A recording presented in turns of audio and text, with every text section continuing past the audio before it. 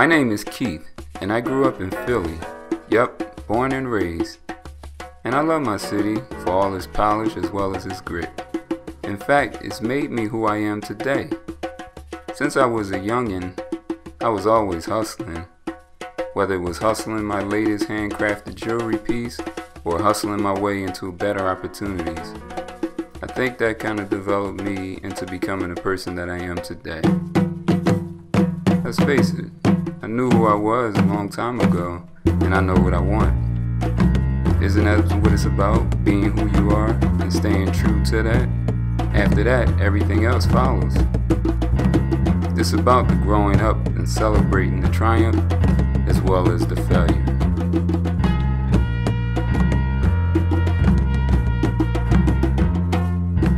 I am an independent craftsman, and this is my story.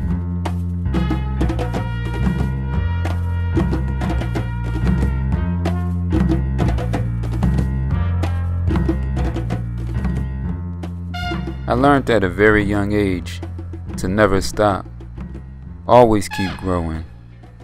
I turned my passion and love for the hustle, music, and fashion into something more something more lucrative. I mean, let's face it, manifesting your thoughts and ideas and sharing it directly to the consumer, man, it's one of the greatest feelings in the world.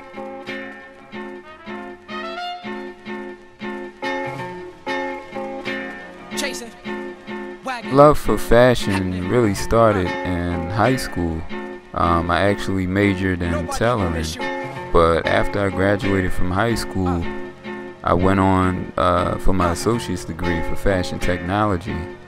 And um, it was a two year program, but unfortunately, I dropped out after a year and a half um, due to the lure of the streets. uh, but that's another story. But anyway, um, sometime after that, I revisit uh, crafting things with my hand. And I guess the rest is history. Up. Uh, maintain it. We remain playing, yo. You get replaced in this game. Place to face with the name. Talking about who got the flyest chain.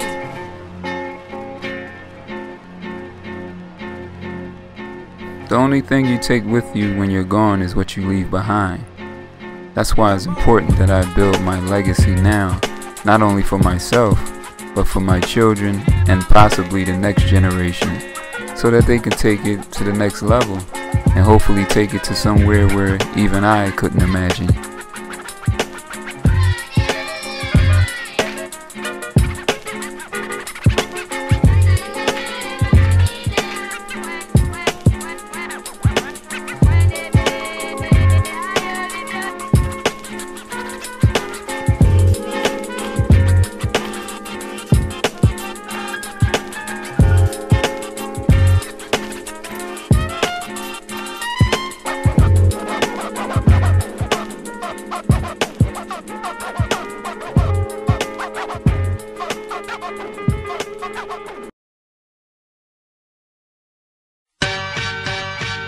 I get inspiration from numerous different places, people, or things. Like for instance, I can be 35,000 feet in the air, contemplating on my next destination. Or I can just be riding around the way. Or I can be walking the sands of a Caribbean island. Yeah, that was really nice. Or I could just be chilling on my porch grab the bike out, go for a little ride, be inspired from there. Oh hell, it can come from anywhere. Shit just comes to you.